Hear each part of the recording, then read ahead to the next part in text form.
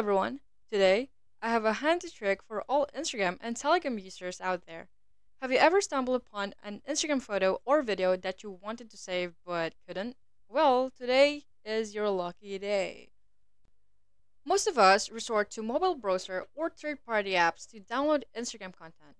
But what if I told you there's an easier and faster way using just Telegram? Yep, that's right. Let's dive right in.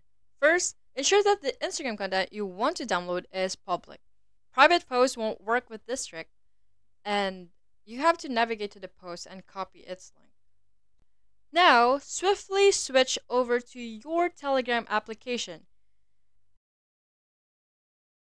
Head straight to the search bar and type in Instagram Saver.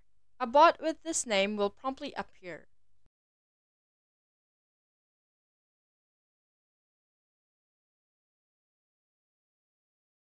Before you proceed, I recommend pinning this bot for easy future access.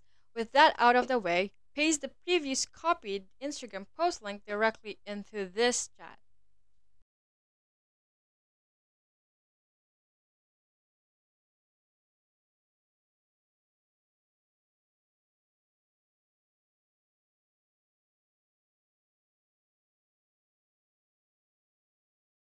Give it a moment, sit back, and let the magic unfold right before your eyes. Within seconds, the bot will process the link and present you with the desired photo or video.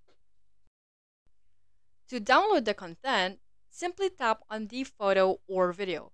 You'll notice three dots, or where we often call the option menu, in the top right corner. Click on it and then select Save Image or Save Video, depending on the moment.